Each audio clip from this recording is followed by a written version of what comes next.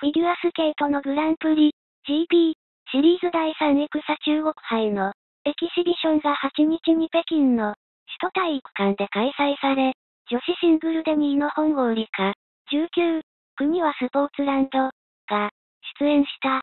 真っ赤な衣装で登場。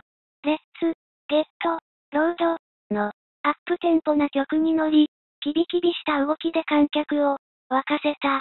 前日のフリーを含め、ショートプログラム、SP、でも、自己ベストを更新。